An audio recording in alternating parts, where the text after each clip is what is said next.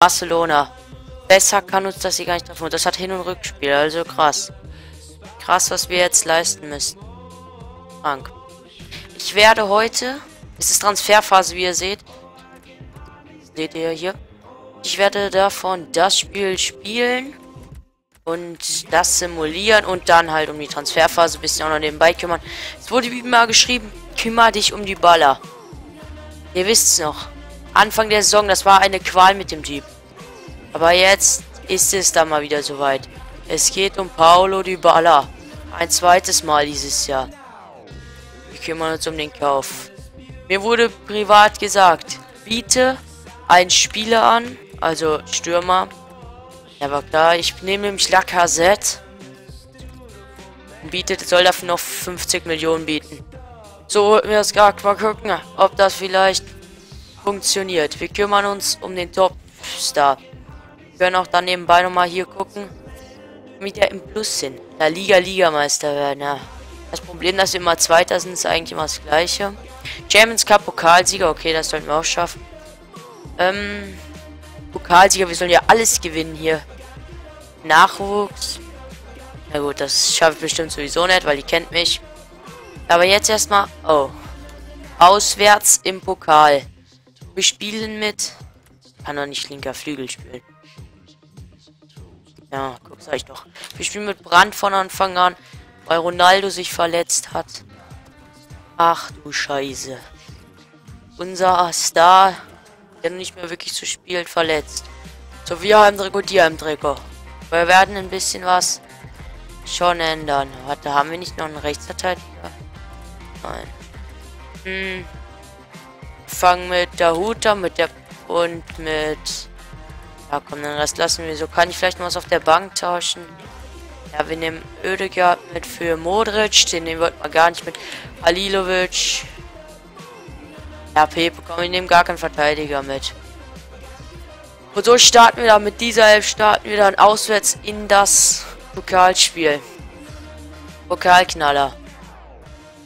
Und ja, dann würde ich sagen, ich hoffe mal, dass wir hier etwas ordentlich anstellen. Und los geht's.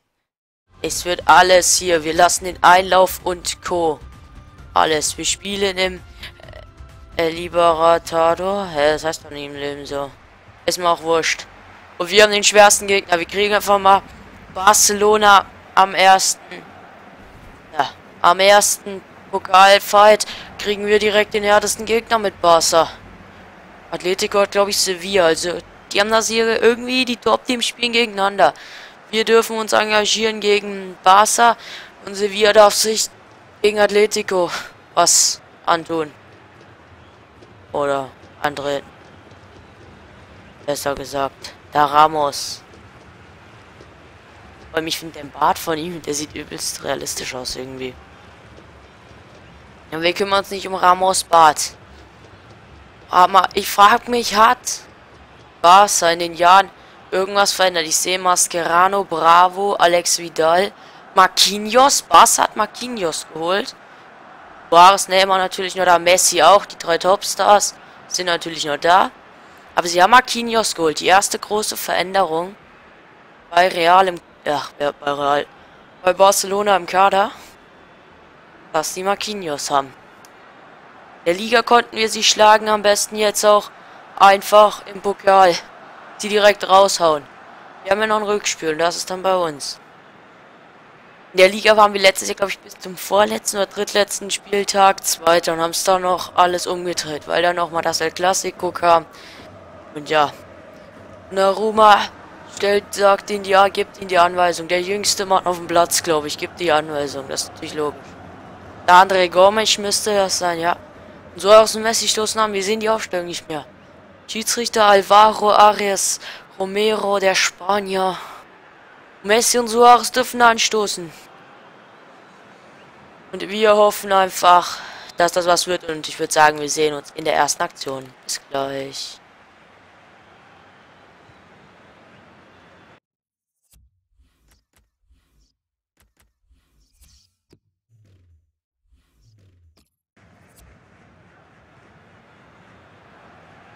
Und jetzt vielleicht mal das erste Mal Barcelona. Fragezeichen. Alaba klärt den aber nicht gut. Alex Vidal, Messi. Äh, Alex Vidal, Neymar, Bellerin. Wir zittern aber der Hut. Und jetzt der Gegenangriff. Groß. Julian Brandt. Julian. Brandt. Julian Brandt. Higuain. Und so schnell geht die Sache. So schnell geht das da manchmal. James Rodriguez ist da. Führungstreffer. 1 zu 0. Den Jubel habe ich ja noch nie gesehen. Habe ich noch nie gesehen, den Jubel. Aber ist mir auch wurscht. Wir führen, das ist das Wichtige. James Rodriguez. Und es kann sein, dass es noch auf Weltklasse ist. Das tut mir dann natürlich leid, wenn es noch auf Weltklasse ist, weil wir, ja, weil Kumpel hier und der hat dann auf Weltklasse gespielt. Deswegen würde mir das leid tun, wenn. Aber, ja. Das Wichtige ist, dass wir hier mit 1-0 in Führung gehen. Und im nächsten Video ist es dann ganz sicherlich wieder auf Legende. Hames trifft und schießt uns bis jetzt erstmal einen guten Vorsprung heraus mit diesem Auswärtstreffer. Nach sieben Minuten.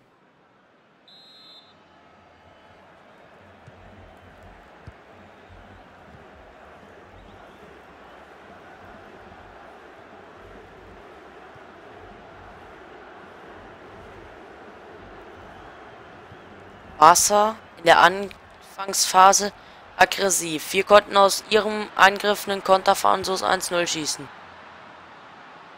Wie macht das Barca, ist die Frage. Wie reagieren die auf unseren Führungstreffer? Suarez macht erstmal Weltklasse. Mascherano schiebt ihn vorbei. Riesenschocks, was der Innenverteidiger überhaupt da vorne macht, ist eher so die Sache.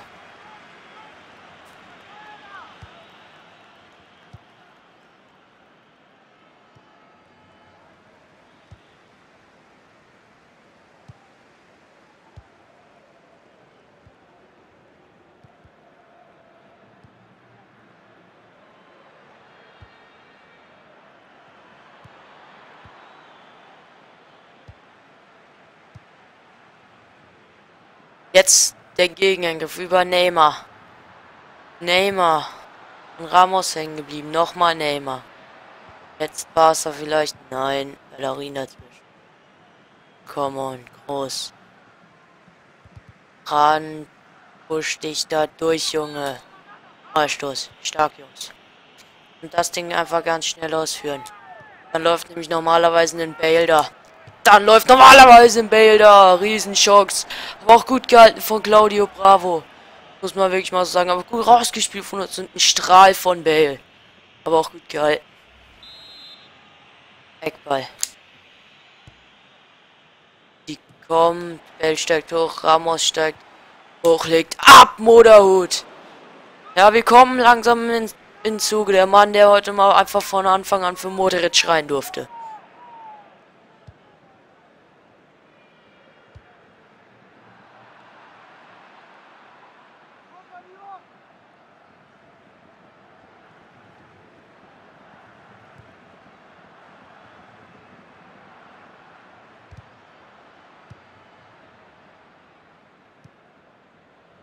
Higuain. Unsere Maschine. Vielleicht jetzt mal. Nächste Chance. Nach Barca. Barca macht das Spiel. Barca drückt. Wir machen eigentlich nicht viel. Und jetzt gibt es den Freistoß. Freistoßaktion, Jungs. Wer tritt die Scheiße, ist so eine Frage. Bale schlänzt den vielleicht mal über die Mauer ins Glück. Bale schlänzt den an den Pfosten. Gareth Bale. Starker Freistoß. Komm mal, Lisa. An den Pfosten. Schönes Ding, aber. Muss man ihm lassen. Und vielleicht für diesen spitzen Freistoß vielleicht mal ein Like. Würde mich freuen. Aber jetzt erstmal drauf konzentrieren. Barca vielleicht mal direkt im Gegner. Vielleicht Barca direkt im Gegner nach unserem starken Freistoß. Nö.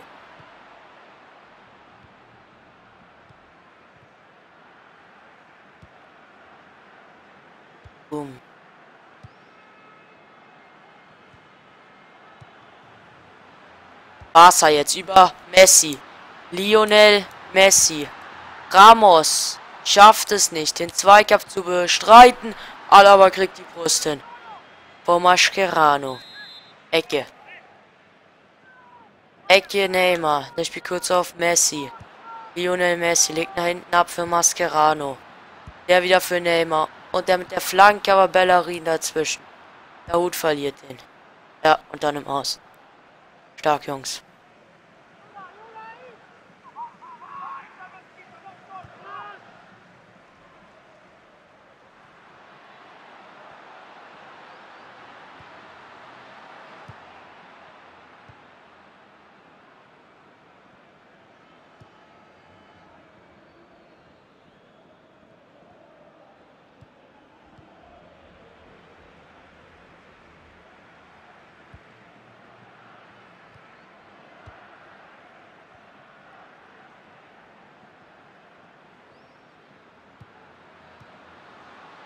Jetzt mal wieder Barcelona. Barca kommt, aber Ramos dazwischen stark.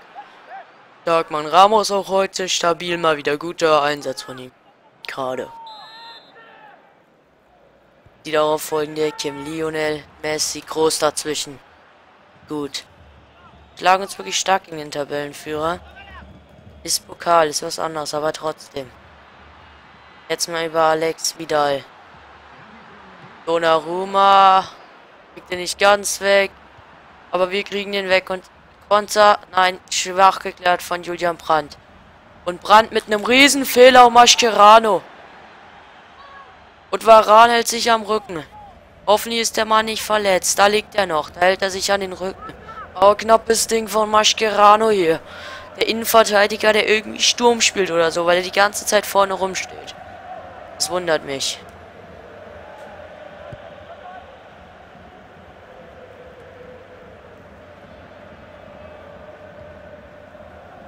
Wir kommen vielleicht nochmal. Vielleicht nochmal wir.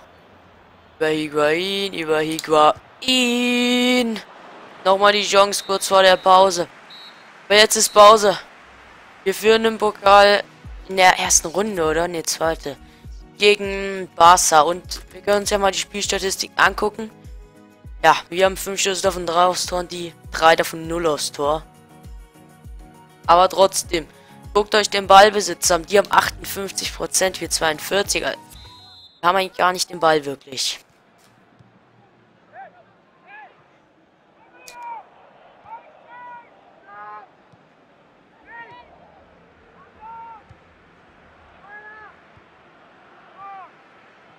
Jordi Alba.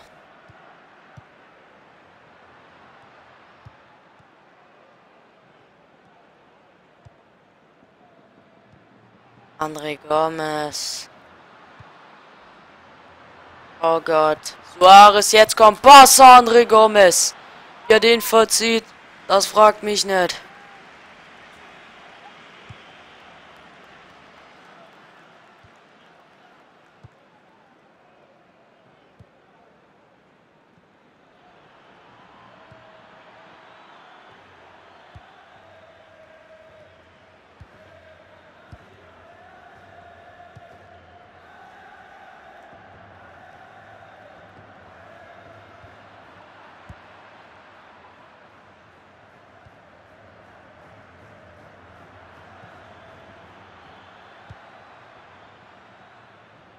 Jetzt war's mal wieder über Neymar. Neymar. Neymar. Stark gemacht, Suarez. Mascherano. Der Typ ist heute abschlusslustig. Der Kapitän.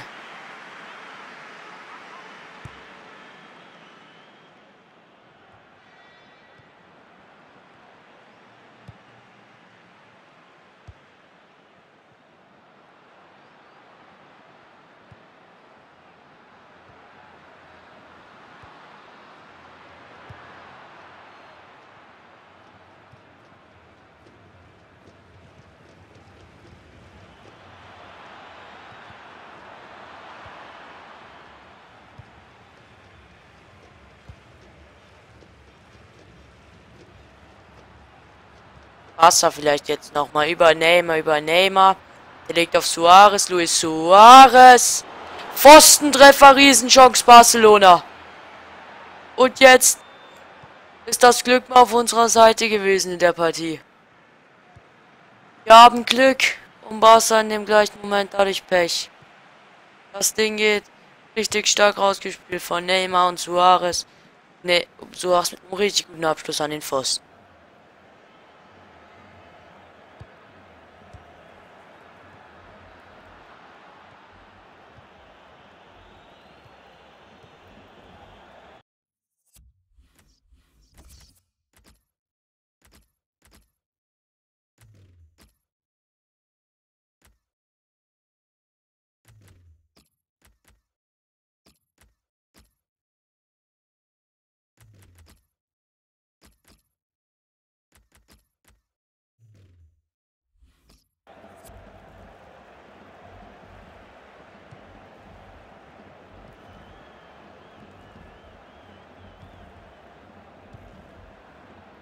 Jetzt mal wieder Barcelona. Nein, doch.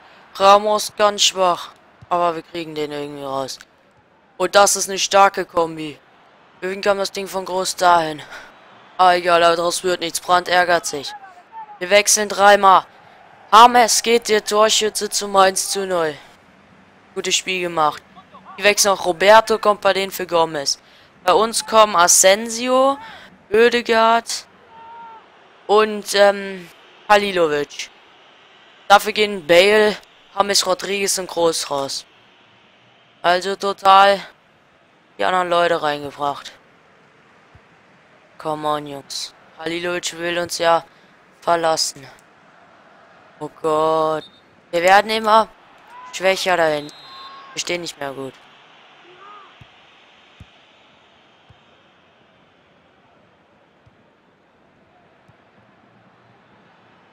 Jetzt vielleicht mal die Schocks Motorhut. Der Typ ist abschlusslustig. Und sein zweiter Versuch heute. Aber wie knapp drüber. Abschlag Claudio Bravo. Jawohl. Rand. Alilovic. Asensio auf Higuain. Vielleicht dürfen wir noch mal uns was trauen. Vielleicht kommt er irgendwie noch mal durch. Ja komm, Maki. Schade, dass wir Marquinhos da nicht noch den Ball wegstibitzen können. Jetzt Messi. Brand, da kam dazwischen, aber hatte nicht. Egal. Wasser wechselt.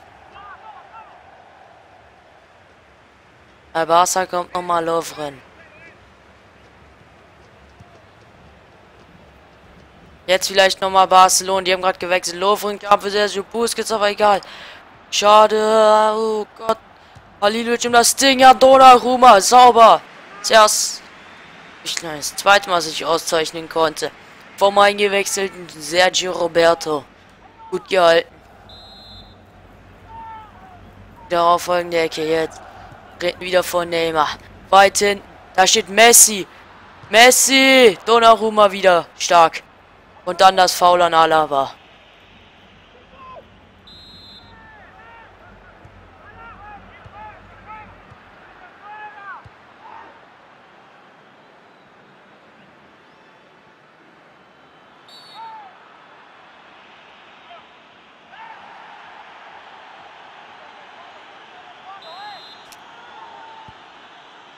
Vielleicht kriegen wir jetzt noch mal die Chance. Bellerin. Asensio. Asensio, Distanzschuss. Knapp vorbei. Ich glaube, den hätte Bravo nicht gehabt.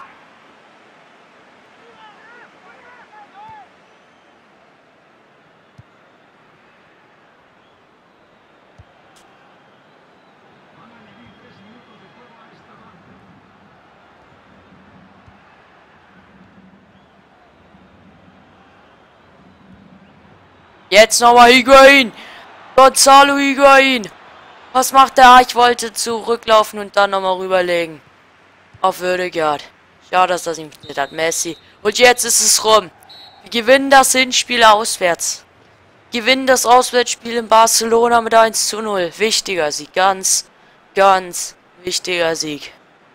Und wir freuen uns schon mal, weil das ist eine gute Ausgangssituation fürs Spiel, Rückspiel, was ja zu Hause für uns ist. Also haben wir eine Chance. Und hier nochmal der Torschütze. James Rodriguez. Wie wir auch nochmal in der Statistik sehen konnten. Ja, 8 zu, die haben 8 zu 6 Schüsse. Also die hatten schon mehr Schüsse. Und auch mehr Ballbesitz. Barca hat 57%, Ballbesitz wir 43. Barca hat 8 Schüsse, wir 6. Also, ja. Barca hat das Spiel gemacht und wir haben einfach mal den Ball reingeknallt. Und dadurch unser einziges Tor in dem Spiel gemacht. Kann man machen. Weil es geht halt jetzt drum um... Ja, die Zukunft. Ich weiß. Brand bedenkt, bedacht, be, be, bedankt sich und Lacazette übers Gehalt schwätzen.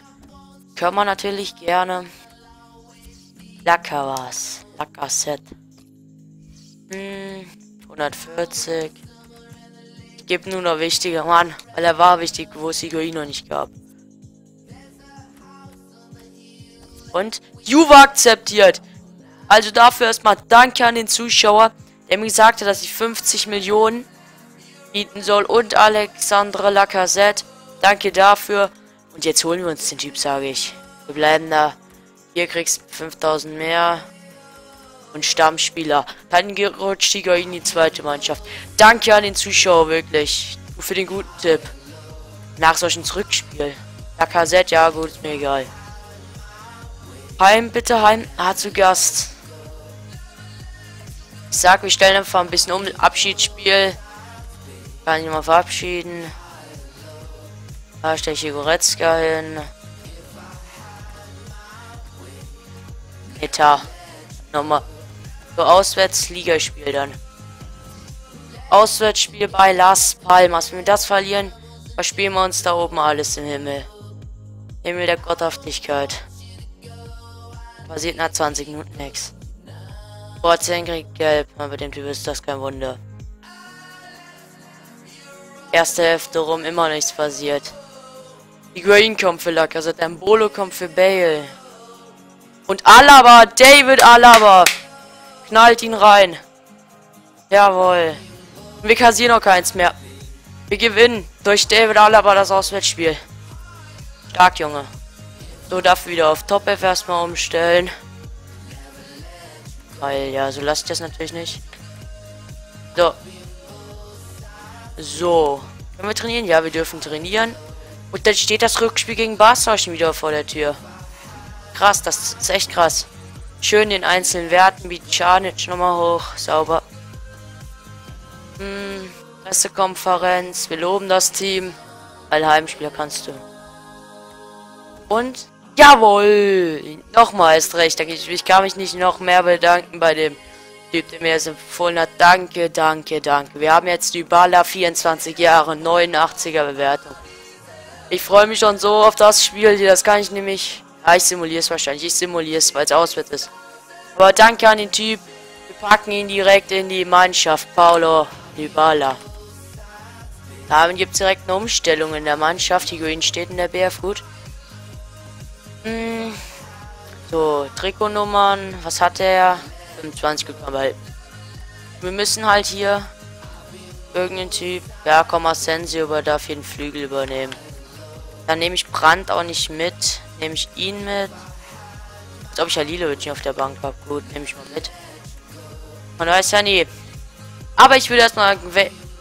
Oder komm, wir simulieren es noch in dieser Folge. Wir simulieren Barca, Realpokal, Rückspiel noch in dieser Folge.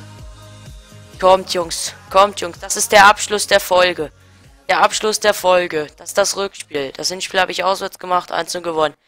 Haltet das von mir aus so. Wenn ihr das haltet, ist schon in Ordnung. Aber Rodriguez, der Mann aus dem Hinspiel. Der Mann aus dem Hinspiel am Rückspiel erfolgreich. Damit steht es 2-0. Barca ist damit raus, würde ich sagen. Die spielen Mascherano Mittelfeld. Embolo kommt für Bale.